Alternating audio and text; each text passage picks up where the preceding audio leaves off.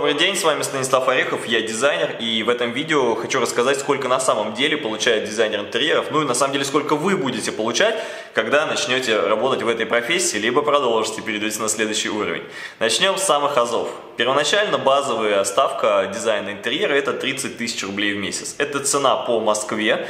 Если вы работаете в регионе, то эти цены могут быть абсолютно любыми, потому что они будут зависеть от того, какова средняя зарплата среднего специалиста. Почему Это так? Ну, потому что дизайн это такая же профессия, как и все остальные, и ставки там поднимаются не с э, там, желанием каким-то и не с того, что это самая лучшая профессия и надо творческому процессу и творческому человеку просто больше платить. Совсем нет.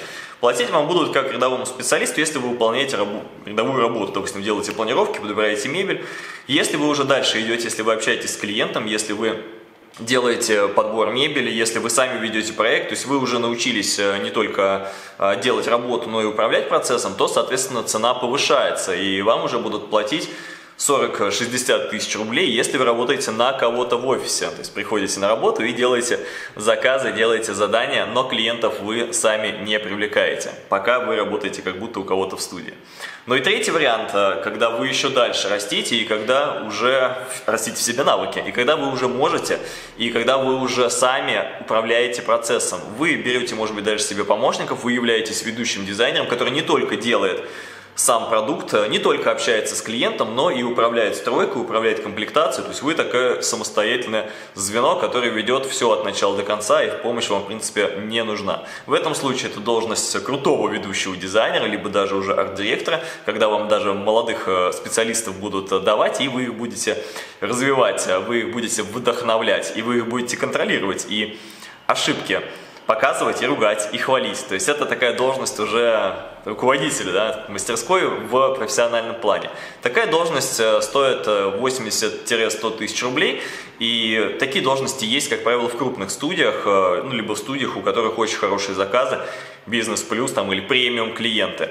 Поэтому сразу, дорогие заказчики, да, если вы идете не в премиальную студию, то вам будет делать средний дизайнер, скорее всего. Если идете в крутую студию, то вам будут делать, скорее всего, крутые дизайнеры с помощниками. Так устроен рынок.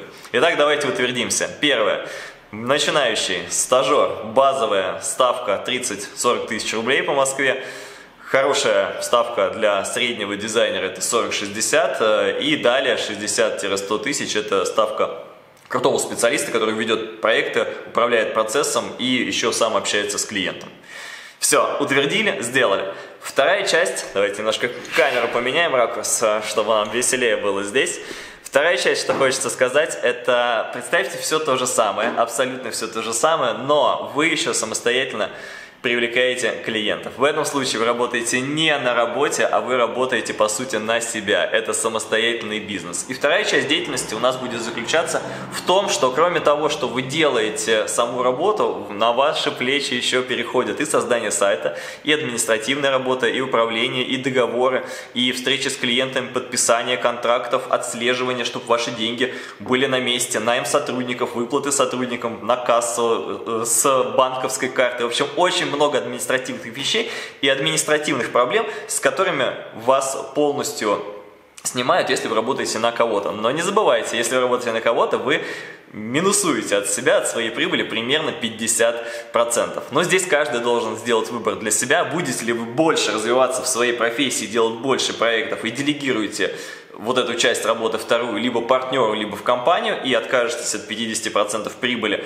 ну, не будете стремиться все деньги здесь заработать, а будете делать свое дело. Либо вы будете работать все-таки сами, и это выбор каждого. Здесь нет правильного способа, здесь есть только вот либо ты идешь в человека, который сам себе делает э, заказы, сам общается с клиентами, либо ты устраиваешься на работу и работаешь э, ну, в рамках этой корпоративной структуры, получая меньше денег за ту работу, которую они берут на себя, но вы можете делать больше проектов и, соответственно, возможно, получать больше денег, если будете расти по карьерной лестнице. То есть два стандартных пути. Рост по карьерной лестнице и рост э, самостоятельного бизнес-специалиста. Выбор будет у каждого свой.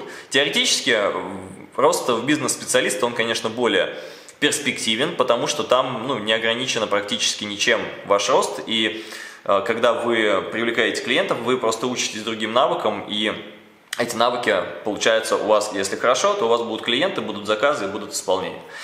Сколько здесь можно получать? В два раза больше. То есть начинающий специалист может получать 50, 60, 70 тысяч рублей, если только начинает и сам привлекает клиентов. Опытный специалист, ведущий дизайнер, который все делает, то же самое делает на профессиональном хорошем уровне, ведет комплектацию, ведет авторский надзор, он получает 100-150 тысяч в месяц. И э, уже компания, если вы организуете себе помощников, если вы берете себе подрядчиков, если вы уже управляете проектами и процессами, и у вас есть и постоянные клиенты, которых вы привлекаете, и подрядчики, которые это делают, то вы сможете получать в студии 150, 300 и даже 500 тысяч рублей, в зависимости от того, как вы наладите дальнейшие услуги и дальнейшие работы со строителями, с реализацией, с комплектацией. То есть это уже следующая часть. Вот такие ценники. То есть не важно, да, а в какую профессию вы идете, будь это дизайн интерьера, будь это просто дизайн, будь это любая другая деятельность, цены они примерно такие же. Вопрос не в цене, не в том, сколько кто зарабатывает, а в том, кто как разобрался в этой теме и кто насколько специалист. Как только вы становитесь специалистом в какой-то профессии и идете по частям, которые позволяют вам самому как специалисту быть лучше и делать более качественные проекты для клиента, делать их быстрее, делать их э, более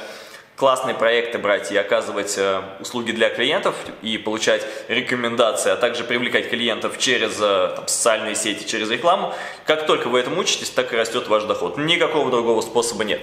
В общем, к чему я все это? К тому, что начинать можно с любой позиции, но дальше самое важное, как можно быстрее разобраться, куда вас больше тянет. И смотреть, э, где и сколько вы будете получать, не, не от того, сколько вам будут платить. Платить вам будут всегда столько, сколько вы заслуживаете. Поэтому, если мы говорим о цене или кому-то сейчас мало платят, если кому-то сейчас мало денег, это вопрос не к тому, что рынок упал. Не к тому, что работодатели жадные, а к тому, что вы просто на данный момент, к сожалению, больше не заслуживаете. Даже если вас, вам кажется, недооценивают, это все равно ваша вина, потому что вам нужно внутри себя воспитывать характер и делать так, чтобы вам хотелось платить больше, чтобы люди работали с вами и мечтали заплатить вам те деньги, которые вы сами назвали, то есть становиться экспертом. Подумайте об этом. Надеюсь, это видео вам понравилось. Читайте подробное описание, я дополнительно цифры дал текстом, а на видео хотел просто немножечко эмоционально прокомментировать и дать немножечко взгляд с другой стороны.